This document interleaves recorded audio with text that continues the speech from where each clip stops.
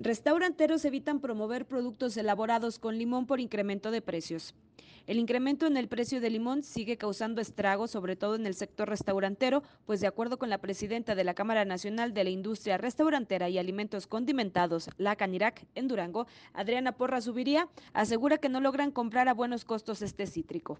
Pues sí, es un elemento básico para todas las recetas, para todos nuestros afiliados, los restauranteros, y sí es correcto, está un aumento de más o menos 20% a la semana. Eh, estamos consiguiendo eh, de mayoreo entre 48 pesos el kilo. Indicó que otros productos también han presentado incrementos considerables como el plátano o el aguacate, aunque no en la misma proporción que el cítrico.